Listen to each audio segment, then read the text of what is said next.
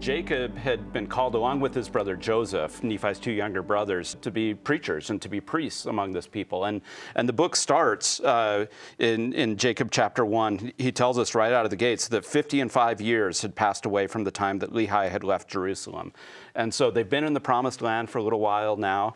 Uh, the, the, that kind of first generation that sailed across the ocean, they're all dying off, you know, Nephi and, and others. And so this is kind of the next generation taking over.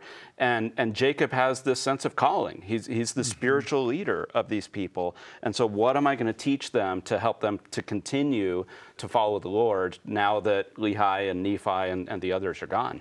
And Jacob, he specifically says, I'm not going to give you a lot of history. I'm not going to tell you a lot of stories. I'm going to focus on sacred things, on preaching, on revelation, on, on the prophecies that we have. So that's mostly what we get in the book of Jacob. Not a lot of narrative, but a lot of really powerful gospel teaching.